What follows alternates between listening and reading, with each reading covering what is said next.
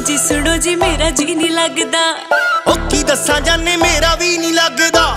ਦਿਲ ਕਰ ਰਵਾ ਤੇਰੇ ਨਾਲ ਨਾਲ ਮੈਂ। ਯਾਂ ਹੀ ਬੈਠਾ ਹੁਣ ਸੋਚਦਾ ਖਿਆਲ ਮੈਂ। ਜਾਨ ਕੱਢ ਲੈ ਨਾ ਜਾਵੇ ਕੋਲ ਲੰਘ ਵੇ। ਵੰਗ ਵਰਗੀ ਸੋਹਣਿਆ।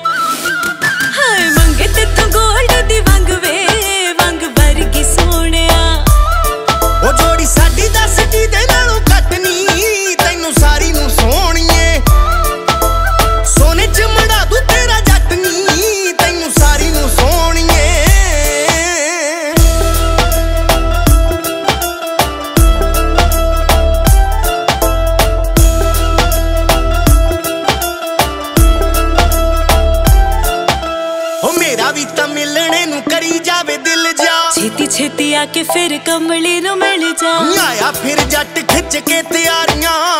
ਕਰਨੀਆਂ ਤੇਰੇ ਨਾਲ ਗੱਲਾਂ ਸਾਰੀਆਂ। ਉਹ ਖਿੱਚ ਦਿੱਤੀ ਗੱਡੀ ਫਟਾਫਟ ਨੀ ਤੈਨੂੰ ਸਾਰੀ ਨੂੰ ਸੋਹਣੀਏ। ਸੌ ਲੱਗੇ ਸੋਨੇ ਚ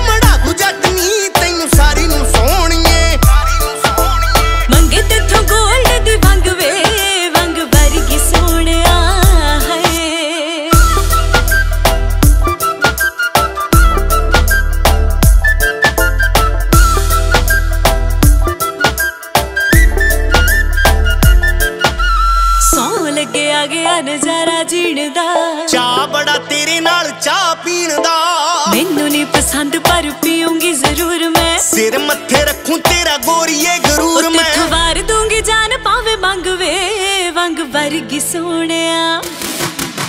ਮੰਗੇ ਤੇਥੋਂ ਗੋਲਡ